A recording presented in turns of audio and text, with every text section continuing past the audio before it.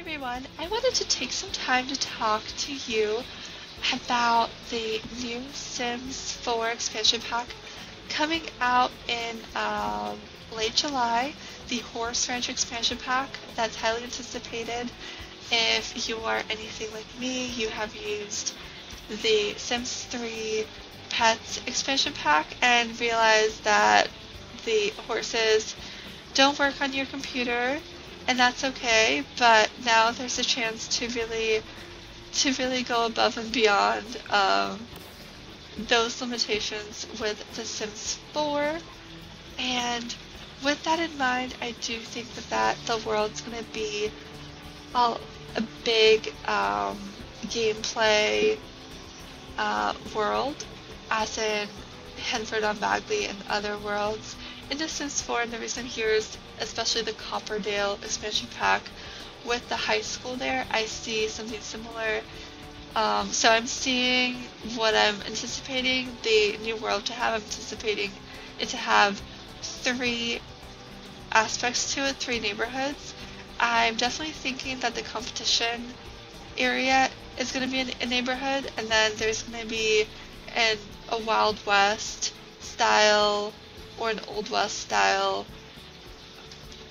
town, and then I'm also anticipating a national park style area that has riding trails. I would also love a secret world, and then since we're getting horses, the natural question then within the Sims world or Sims community is to see, well, is there going to be a unicorn aspect to any of the horses or unicorns a part of the game? We were uh, told that there's going to be an ability to either befriend wild horses or adopt wild horses.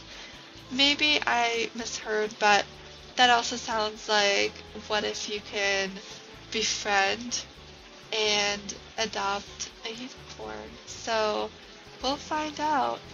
And then the other part is that I see a lot of cross pack compatibility. You can't ignore that. Um, I definitely see herding for um, cats and dogs it, eh, with the addition of the goats and the sheep. I also see the recipes using some of the goat milk, and I also see some of the uh, nifty knitting creations have some of the sheared wool um, from the sheep there. So I definitely am looking forward to all the cross-pack compatibility. I definitely um, think that it's going to be a very strong pack, and I hope it's not very glitchy. That's what I'm hoping. I'm looking forward to trying some of the new gameplay. It sounds like there's a country line dancing um, skill or maybe capability there. I can't wait to try that. And all in all, it looks like a very solid pack. It does look like an extension of cottage living, but at the same time, it does look like it's complete enough to be a full pack that everyone can enjoy. So I'm definitely looking forward to it, and I can't wait to see if it lives up to the hype. Bye!